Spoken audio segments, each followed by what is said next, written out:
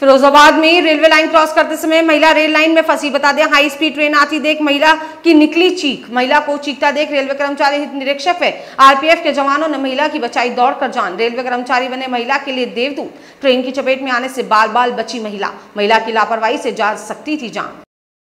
महिला द्वारा ट्रेन से घटना होने से बाल बाल बची है क्या है पूरा मामला? यही पास में दिन में लगभग 11 बजे के आसपास वो पैसेंजर गाड़ी फरुखाबाद साइड से आई थी।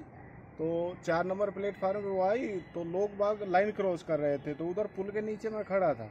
वहाँ से लाइन क्रॉस करने वालों को रोक रहा था। उससे थोड़ी देर देखा तो इधर एक महिला थी जो लाइन के बीचों बीच में है जो लाइन क्रॉस कर रही थी। और डाउन लाइन में एक गाड़ी आ रही जो थ्रू पास हो रही थी। मैं उधर से दौड़ लगाते लगाते आया तब से पह, उससे पहले हमारे एक कर्मचारी हित निरीक्षक हैं वेलफेयर इंस्पेक्टर हैं तो वो पास में ही थे। उन्होंने दौड़कर उस महिला को है जो लाइन से खींच लिया था उनका सामान वामान वापस हटा लिया था। तब तक हम पहुँचे तब तक वो गाड़ी निकल चुकी थी। क्या माना जाए लापरवाही की है किस तरीके से? लापरवाही उनके जो महिला थी वो उसको ये ज्ञान नहीं था कि मेरे लाइन क्रॉस करने से कोई हादसा भी हो सकता है ये है अज्ञान।